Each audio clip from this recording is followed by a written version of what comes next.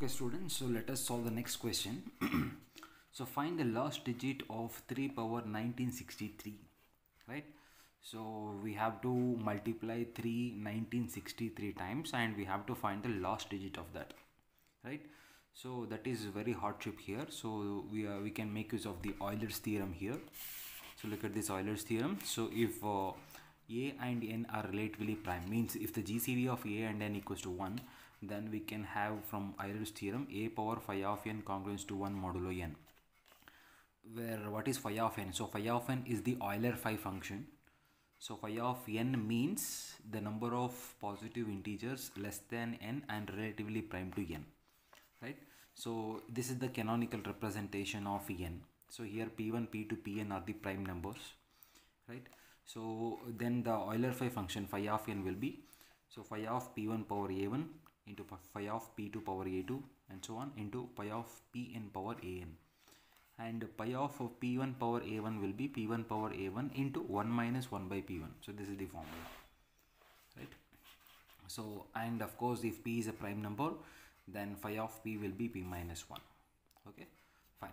So here uh, we can we can consider we can we here we need to find what? So we have to find the last digit of uh, this means uh, we have to find x such that 3 power 1963 is congruent to x modulo 10 so first uh, here uh, we have to we, we have to consider the GCD of 3 and 10 the GCD of 3 and 10 is 1 so you can calculate the GCD here.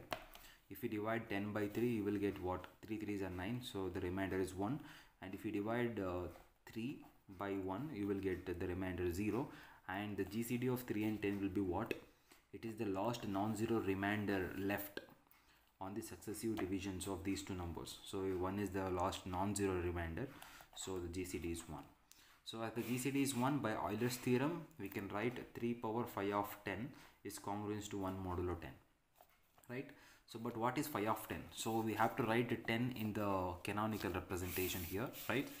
Look here we have to write this 10 in the canonical representation so what happens? So we can write this 10 as 2 into 5 so 2 power 1 into 5 power 1 and phi of 10 will be phi of 2 into phi of 5 here 2 and 5 are the prime numbers. So phi of 2 will be 1 and phi of 5 will be 4 as we know that phi of p equals to p minus 1 whenever p is a prime number. Right? The phi of 10, 10 equals to 4 so here uh, we have to substitute the value of uh, phi of uh, 10 here. So it is which is 4 and later uh, 3 power 4 congruence to 1 modulo 10 and here we need to calculate the 3 power 1963 okay 3 power 1963 is what? Congruence to uh, uh, under modulo 10 okay so we, we have to raise the powers 490 on both sides okay so uh, here what happens? So if you if you raise the powers 490 on both sides so 4 into 490 will be 1960 and 1 power 490 will be 1 itself right so 3 power 1960 is congruent to 1 modulo 10 but we need to calculate 3 power 1963 modulo what? Right? So let us multiply 3 power 3 on both side. Okay? So here 3 power 3 is what? Uh, 1960 into 3 power 3 what is that? 1963 3 power 1963 and 3 cube is 27 right? Under modulo 10 always remember to calculate uh, here 27 is there. So 27 is congruent to what under modulo 10 means you have to divide 27 by 10 so it will be what uh, uh, we can write this what 2 point something right? So uh, multiply 2 to 10 so 10 to the 20 so the remaining will be the remainder will be what? 7 okay? So therefore the last last digit of this 3 power 1963 will be 7 look at the next question. We compute the gcd of 486 with the 434 and express as a linear combination of 486 and 434 okay? So we have to calculate the gcd of these two means. We have to perform the uh, successive divisions of these two numbers. And uh, the last non-zero remainder will be the gcd okay? So look here. So let us consider 486 and let us divide that by 434 okay? So 434 ones are 434 okay? So the remainder will be 52 and let us divide this 434 again. Let us divide this 434 uh, by 52 so 52 8s are 416 the remainder will be 18 and again let us divide this 52 by 18 okay?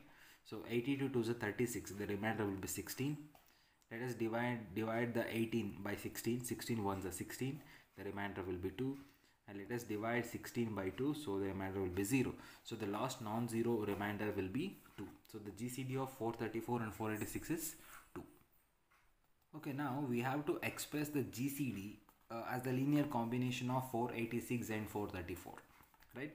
So for that we can make use of this. So here a is the divisor n is the dividend q is the quotient and r is the remainder.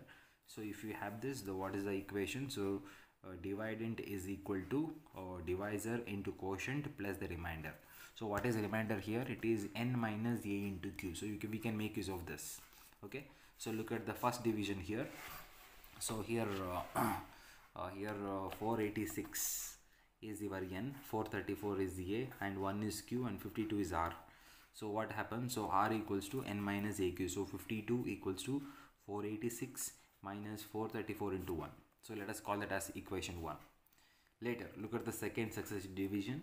So 18 is the remainder 52 is the divisor 434 is the dividend and q is the quotient. What happens here?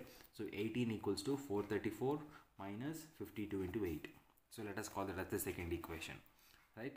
So again like next. So let us uh, look at this division.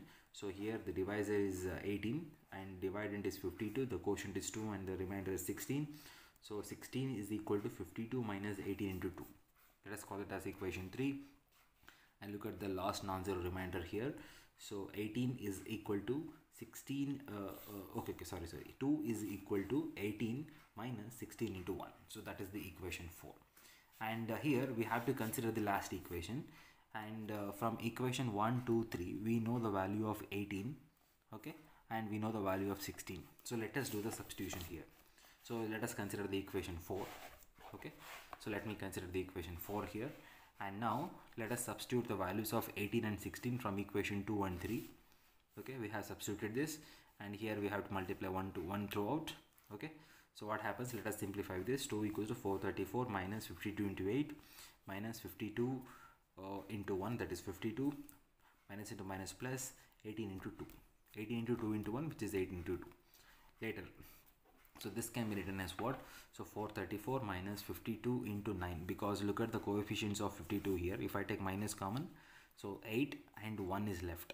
Okay so 8 plus 1 will be 9 so 52 into 9 plus 18 into 2 and uh, from the equation 1 from the equation 2 so we can substitute the value of 18 here. Okay so we have 18 so let us substitute the value of 18 and 52 from equation 1 and 2 so what happens? So it is we have we got this okay? So later on simplification. Later on simplification. So we can have uh, 2 is equal to so 434 into 28 plus 430 486 into minus 25 okay? The thing is you have to substitute the values of 18 52 and uh, 16 okay? Uh, and uh, later you have to do the simplification. So finally you will get uh, the linear combination of two uh, uh, the linear combination of uh, the 434 and 486 okay? Thank you. So look at the next question. So solve the system of uh, congruence equations. Okay? So x congruence to 2 modulo 3 x congruence to 3 modulo 5 and x congruence to 2 modulo 7 using chinese remainder theorem. The very first thing is we have to write the general form of the simultaneous congruence equations. So that is x congruence to a1 modulo m1 x congruence to a2 modulo m2 and x congruence to a3 modulo m3 so here we have to uh, by comparison we can have the values of a1 a2 a3 and uh, m1 m2 m3 okay? So this is m1 this is m2 this is m3 okay? Fine. So after finding these values so we have to calculate capital m. So what is that? It is m1 into m2 into m3 which is 105 and let us calculate m1 capital m1 that is m capital m by small m1 so which is what? We can cancel m1 here. So left is uh, m2 is m, m2 into m3 so that is 35 and similarly we have to calculate uh, capital m2 so capital m by m2 which is 21 and capital m3 so capital m by m3 which is 15 and after finding this we have to calculate m1 inverse m2 inverse m3 inverse using this equation see m1 into m1 inverse will congruence to 1 modulo small m1 okay? So here so capital m1 will be what? 35 35 into m1 inverse congruence to 1 modulo 3 so we have to start the value of m1 inverse by 1 okay? So 35 into 1 so which is 35 35 minus 1 34 is that divisible by 3 no. So m1 inverse is not equals to 1 let us substitute m1 inverse equal to 2 so 35 into 2 70 70 minus 1 69 and 69 is clearly divisible by 3 so we can uh, we can say that m2 m1 inverse will be plus 2 right? Similarly to calculate m2 inverse we have to calculate we have to consider m2 into m2 inverse is congruent to 1 modulo m2 okay? So later here uh, let us substitute the value of m2 here so which is uh, 21 into m2 inverse congruence to 1 modulo 5 okay. So later uh, 21 we have to start the value of m2 inverse from 1 so 21 into 1 21 21 minus 1 20 20 is divisible by 4 so m m2 inverse will be 1 and to calculate m3 inverse we have to consider this equation. M3 into m3 inverse congruence to 1 modulo 3 okay so let us again consider the value of m3 inverse from 1 so yeah here m3 is 15 okay? So 15 into 1 15 15 minus 1 14 14 is clearly divisible by 7 so m3 inverse will be 1 so finally the solution by the Chinese remainder theorem the solution of the uh, given system will be uh, x congruence to a1 into m1 into m1 inverse plus a2 into m2 into m2 inverse plus a3 into m3 into m3 inverse modulo m. So let us substitute these values here. We will get uh, x, x congruent to 233 modulo 105 right? So here we have to uh, we have to consider 105 right? If you, if i add 105 to 105 i will get the 210 okay so 233 minus 210 will be 23 so x congruent to 23 modulo 105 so if you divide this 233 by 105 the remainder will be 23 okay? So that's why x congruent to 23 modulo 105 is the required solution